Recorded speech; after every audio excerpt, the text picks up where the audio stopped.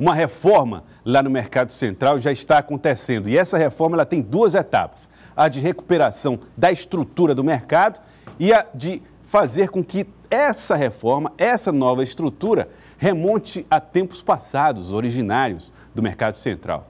Quem viu o projeto diz que está ficando uma coisa muito bonita. Vamos acompanhar com Indira Gomes. Reforma devolve as características originais e traz um ar de modernidade. Portas de enrolar foram acrescentadas às esquadrias de madeira. Corrimão de inox e elevador garantem a mobilidade que os dias de hoje exigem. Mas voltamos ao século XIX para ter a circulação no corredor principal. Dez lojas que ficavam de frente para Areolino de Abreu foram recuadas, ganharam portas de vidro e liberaram a passagem do público por dentro do mercado por baixo dos arcos, como antigamente. As sete lojas da rua Riachuelo já estão prontas e os permissionários de volta. Aqui sempre a gente já está com mais de 40 anos aqui, com a verdadeira revolução, né? Acompanhar o sistema antigo. Os pais da gente vieram para cá. E agora vai ser um. Tudo indica que vai ser um, um grande acontecimento, né?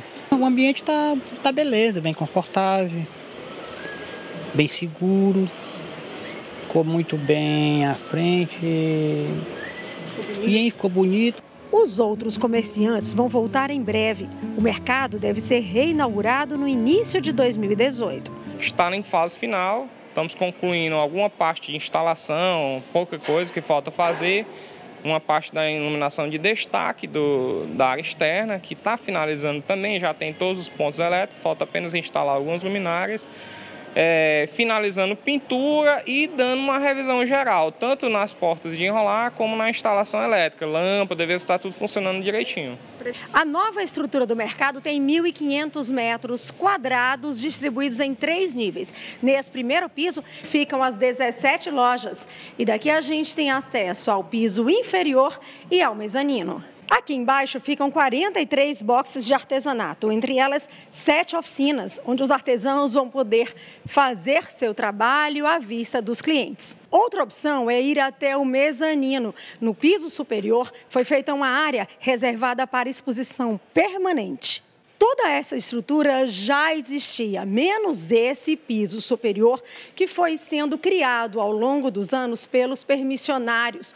Por isso, tem essa parede tão baixinha aqui. É que ela faz parte do projeto original, mas ao longo do tempo, quem foi ocupando o mercado foi construindo pisos de madeira para ser usado como depósito.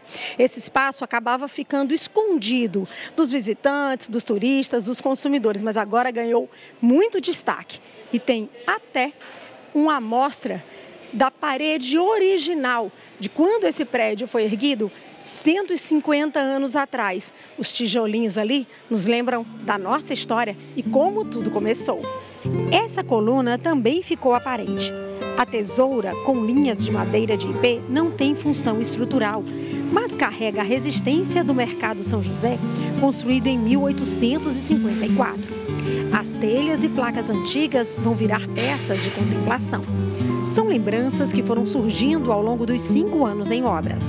3 milhões de reais foram aplicados na reforma para revitalizar o prédio que traz a memória da fundação da cidade.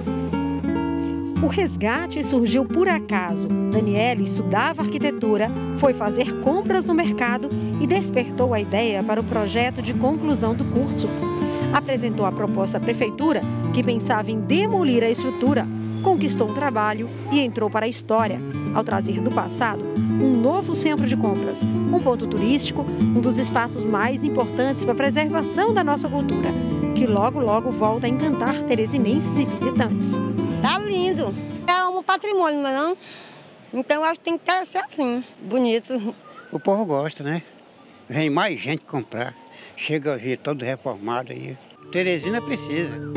Se para todos os teresinenses ter o mercado de volta é emocionante, mais ainda para a Daniele, idealizadora de tudo isso. É uma satisfação muito grande. É como a gente vê o nascimento de um filho. Né, porque ele está ele, ele tá, é, sendo feito, sendo elaborado, sendo executado de acordo com o projeto. Né, então, está renascendo, está trazendo de volta aquele antigo mercado com as características de imponência dele, que são os arcos, que é a presença marcante do mercado.